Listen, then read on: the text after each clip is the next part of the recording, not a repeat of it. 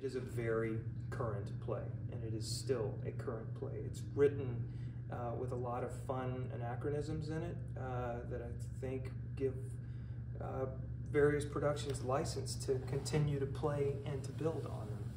Um, I think a personal goal is that I want to make uh, the journey of this particular person who is raging against the sunset accessible for that's a very human place to find oneself trying to stay relevant trying to stay alive and in the conversation and trying to maintain control um, as your body and those around you are trying to wrest it from you. A legacy is uh, to me is the, the, the handing down of of what you know and what you can add to it and so that's the challenge is finding um, the moments within the scenes the moments between the characters that ring true still those ring true to me as a as a as a woman who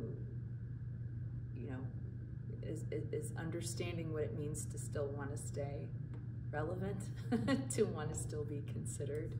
Um, that's what we do as in this industry is we still are asking to be considered